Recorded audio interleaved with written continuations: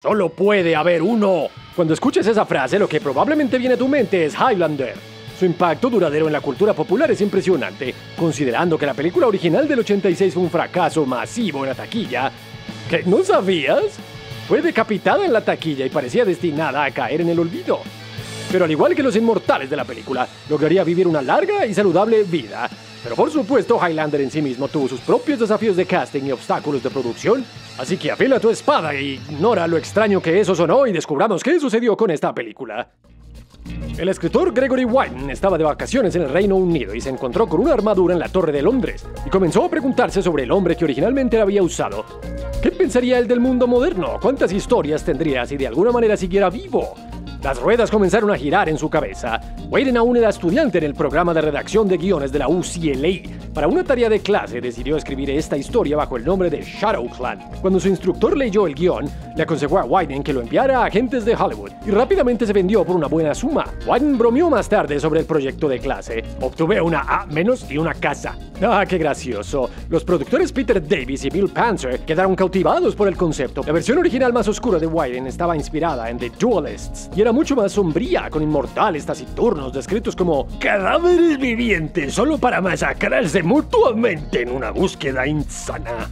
Panzer y Davis contrataron a los escritores Peter Bellwood y Larry Ferguson para aligerar el tono. Las líneas generales de la historia inicial de Warren permanecieron. El protagonista Connor MacLeod, su mentor Ramírez, un prolongado concurso de inmortales decapitándose para ser el último en pie y un escenario actual en Nueva York. Las contribuciones de Bellwood y Ferguson incluirían las rápidas transferencias de poder después de que una cabeza deja su cuello y la idea de que los inmortales no puedan procrear, a diferencia del MacLeod de Warren que había engendrado docenas de hijos mortales a lo largo de su vida. La primera esposa de Connor, Heather, también se agregó para darle peso emocional adicional. El villano principal, conocido como The Knight, se convirtió en el salvaje Kurgan, transformado de un adversario torturado y cansado a un psicópata brutalmente alegrón. Con un guion satisfactorio y un financiero a bordo, los productores buscaron a un director. Habían quedado impresionados con el trabajo de videos musicales de Russell Mulcahy, junto con su película de horror australiana de 1984, Razorback. Con Mulcahy contratado era el momento de encontrar a Connor MacLeod y esperaban obtener a Mark Singer, el propio Beastmaster y protagonista del exitoso programa de invasión alienígena B, pero tuvo que declinar debido a conflictos de programación, aunque eventualmente haría una aparición en la serie de Highlander. La llamada se extendió a casi todos los que trabajaban en ese momento, incluyendo a Michael Douglas, David Keith, Kevin Costner, Barry Boswick, Mickey Rourke, Peter Weller, Mel Gibson y hasta a mí y al líder de la banda de rock The Police, Sting. La película pareció encontrar finalmente a su Connor en el actor favorito de género, Kurt Russell, quien le gustó el guion y se unió al proyecto. Luego la atención se centró en la protagonista femenina, el personaje de la científica forense Brenda en la época actual, bueno, actual de esa época. Finalmente ficharon a Catherine Mary Stewart de The Last Starfighter y Night of the Comet.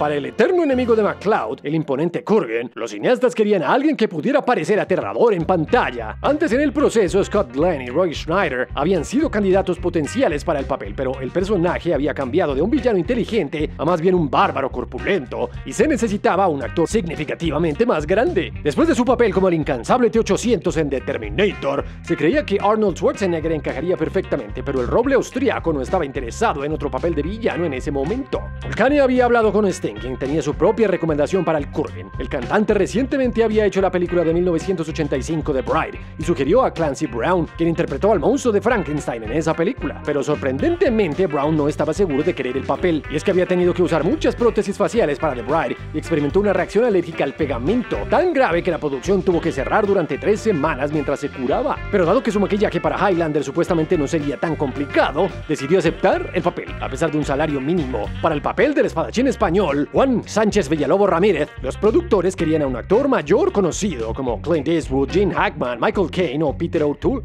Todos rechazaron el papel, pero según Clancy Brown, en un momento se le ofreció el papel de MacLeod al escocés Sean Connery, quien en cambio sugirió que preferiría interpretar a Ramírez. Finalmente aceptaron la idea y Connery ganaría un millón de dólares por solo siete días de trabajo, ajustando a Highlander en su apretada agenda justo antes de comenzar con The Untouchables. Pero incluso mientras la producción buscaba una fecha de rodaje, comenzaron a perder miembros eh, del elenco. Catherine Mary Stewart abandonaría la película por razones desconocidas, aunque fue reemplazada rápidamente por Roxanne Hart. Kurt Russell también se había marchado, supuestamente siguiendo el consejo de su pareja Goldie Hawn. En cambio, Russell se fue a hacer Big Trouble in Little China con su amigo John Carpenter, pasando inadvertidamente de un fracaso convertido en favorito de culto a otro. Durante la búsqueda desesperada de un Connor McCloud, Volcani estaba hojeando una revista y vio una imagen de Christopher Lambert de su película recientemente lanzada Greystoke, The Legend of Tarzan, Lord of the Apes. Volcani pensó que tenía el aspecto perfecto para Así que le ofrecieron el papel y lo aceptó rápidamente. Pero los cineastas se sorprendieron al descubrir que el actor francés llamado Christopher Guy Dennis Lambert no podía hablar inglés. Así que recibió rápidamente un profesor de inglés y un coach de dialecto, y Mulcahy se alegró al saber que el actor aprendió el idioma sin muchos problemas. Lambert y su coach decidieron que Connor debería tener un acento confuso que no hiciera referencia a ninguna región específica, pensando que un hombre que vivió durante siglos se habría movido por todo el mundo en diferentes momentos. Bien, el rodaje comenzó en abril del 85 con la esperanza de que todos los problemas quedaran en el pasado, pero no pasó. El clima parecía ser el mayor enemigo durante gran parte de la ambiciosa producción. Durante la escena en la que Connor y Corgan se encuentran, llovió tan fuerte que el equipo tuvo que usar paraguas y secadores de pelo para proteger las cámaras y los lentes. Las sangrientas escenas de batalla de la película se filmaron en Escocia durante una lluvia helada e incluso nieve, a pesar de que el rodaje fuera en primavera. Volcani quedó impresionado con los extras locales escoceses que, según él, en su mayoría solo querían una botella de whisky al final del día. ¡Ay, son como yo! Se dice que los extras que interpretaban a los guerreros con faldas beberían la mitad de la noche, dormirían afuera y luego se presentarían temprano a la mañana siguiente. Y después de un almuerzo líquido en el pub local, muchos estarían demasiado entusiasmados durante las escenas de batalla, lo que llevó a muchas lesiones para mantener ocupado al personal médico. Las limitaciones de Lambert tampoco ayudaron, ya que además de sus desafíos con el idioma, era severamente miope. A menudo cabalgaba hacia las escenas de batalla olvidando quitarse sus anteojos, lo que requería aún más tomas. Y aunque Lambert tenía un coach de idiomas en el set todos los días, se pasarían seis agotadoras semanas durante la postproducción regrabando cada línea de diálogo de MacLeod. La escena de apertura de la película en el Madison Square Garden originalmente debía tener lugar durante un juego de hockey de la NHL, intercalando entre una pelea de hockey y el choque de inmortales en el estacionamiento.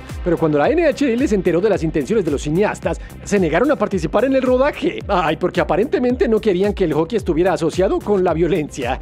De todos modos, el conflicto deportivo se convirtió en una pelea de lucha libre profesional, pero quizá algunos de los mayores desafíos de producción involucraron a la disponibilidad limitada y a la personalidad difícil de Sean Connery, quien inicialmente tenía tan poca fe en Mulcahy que apostó que el director no filmaría todo en siete días, pero el estilo frenético de Mulcahy era disparar rápidamente con varias cámaras y el director ganaría finalmente esa apuesta, filmando incluso algunas tomas de reacción de Ramírez por adelantado, pero no fue una semana suave. Según Mulcahy, Connery le contaría a los productores lo mal que pensaba que iba la producción y señalaría a los miembros del equipo que sentía que no estaban haciendo bien su trabajo. Pero Mulcahy dijo que cuando Connery dio por primera vez los diarios de rodaje, dejó de hacerlo. Así que, bueno, debe haber quedado impresionado. Por supuesto, una razón para el comportamiento travieso de Connery podría haber sido que supuestamente a menudo estaba borracho durante el rodaje, bebiendo una botella de escocés casero muy potente. Una escena que no le gustó mucho a Connery fue su pelea con Kurgan en la fragua, que también resultó ser el primer día de filmación tanto para Connery como para Clancy Brown. Se suponía que Brown irrumpiría por la puerta y cortaría la mesa por la mitad, pero en su emoción falló su marca y golpeó la mesa incorrectamente, rompiendo su espada y casi alcanzando la cabeza de Connery con un fragmento del letal metal. Connery estaba comprensiblemente agitado y se marchó del set. Cuando finalmente regresó, Brown se disculpó profusamente por su error y Connery bromeó que tal vez debería usar más a su doble de riesgo. Pero la ferocidad de Brown tampoco fue una sorpresa para la mayoría del elenco y el equipo. Ellos sentían que el actor se estaba sumergiendo tanto en el papel que se estaba convirtiendo en el Kurgen y muchos tenían miedo de hablarle. Brown mismo ha admitido en varias entrevistas que no la pasó muy bien haciendo la película. Para empezar, tenía una visión diferente del personaje, imaginando la encarnación moderna como la describió, una amenaza entre un tiburón y un tipo de Wall Street. Creía que Kurgen moderno usara un traje y un sombrero de copa para contrastar su apariencia más monstruosa del pasado, pero finalmente lo obligaron a lucir el aspecto punk motociclista de la película. Kurgen también tenía originalmente otra escena de lucha completa durante la reunión en Nueva York, chocando con otro inmortal en un edificio de oficinas de Wall Street. Después de que Brown realizara todo su trabajo de acrobacia, la secuencia se cortó por tiempo, y se dice que las imágenes se perdieron en un incendio, quedando solo imágenes fijas. Brown tampoco tuvo palabras amables para los productores de la película, a quienes más tarde se refirió como buitres carroñeros. Se le pagó casi nada por lo que es probablemente su papel más icónico, y ni siquiera recibe regalías porque trabaja bajo un contrato de BAFTA. Brown ha dicho que el elenco y el equipo intentaban hacer una buena película, pero los productores solo querían recortar costos y hacer las cosas de manera económica. Un ejemplo fue que el primer día de filmación, los productores decidieron que a los extras no se les ofrecería desayuno. El equipo consideró que esto era inaceptable y pensó en abandonar la producción Solo la amenaza de hacer que los productores explicaran su decisión a Sean Connery los hizo ceder, pero las tensiones en el set continuarían hasta que la filmación finalmente se completó después de cinco meses. Mientras editaba la película, comenzó la búsqueda de una banda sonora. Una de las interesadas era la legendaria banda de rock Queen que originalmente acordó grabar una canción, pero después de ver una versión de la película, se inspiraron para escribir algunas más.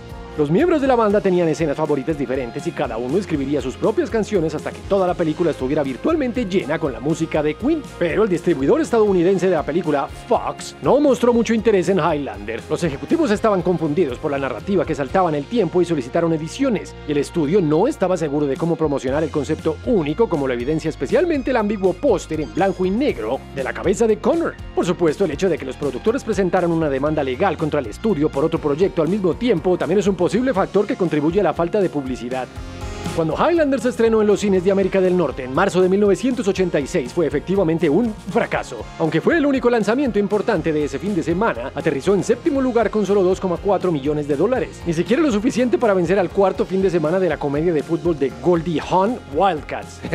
El estudio se negó a proyectar Highlander para los críticos y para cuando lo vieron muchos vinieron con sus espadas desenvainadas calificando la película como elegante pero exagerada, profundamente derivada y una farsa no intencional. Con una taquilla mundial eventual de 13 millones de dólares en un costo estimado de 19, parecía que Highlander desaparecería en el pasado y nunca más se escucharía de él. Pero al igual que Connor McCloud, del clan de los McCloud, Highlander simplemente no desaparecería. La popularidad de Christopher Lambert en Europa ayudó a difundir la reputación de la película y el público estadounidense realmente descubrió la movie en las estanterías de las tiendas de video, elevándola rápidamente a estatus de culto y llevando a los productores a conquistar la historia con la insensata secuela de 1991, Highlander 2 de Quickening, otro fracaso de taquilla costoso. Aunque esa reunión extravagante de Mulcahy, Lambert y Connery merece su propio episodio de qué carajos aún no fue suficiente para eliminar a la franquicia de Highlander, y la mitología inmortal finalmente abarcaría un total de 5 películas, un anime, dos series de televisión en live action y un programa animado, con Christopher Lambert regresando como un Connor McCloud en varias ocasiones. El Highlander original del 86 también eventualmente obtuvo una versión del director en DVD, restaurando escenas que Russell Mulcahy consideraba vitales para la historia. Aunque recorrió un camino largo y difícil, Highlander finalmente dejó su huella en la cultura popular. Y aún no es el final de esta saga de inmortales que cortan cabezas a través de la historia. Un reinicio ha estado en proceso durante más de una década, con el superhombre Henry Cavill, considerado para empuñar la espada. Pero incluso con todas las secuelas, derivados y posibles remakes, cuando se trata de Highlander, ay, seamos honestos, Solo puede haber uno. ¿O no? ¿Tú qué opinas? ¿Puede haber más de uno? ¿Eres uno de ellos? Anótalo en los comentarios. Suscríbete a Yoblo en español para más contenido y activa la campanita para recibir las notificaciones. Recuerda que no somos como Highlander y en cuanto a suscriptores, no solo puede haber uno, porque somos una compañía independiente y apreciamos mucho tu apoyo.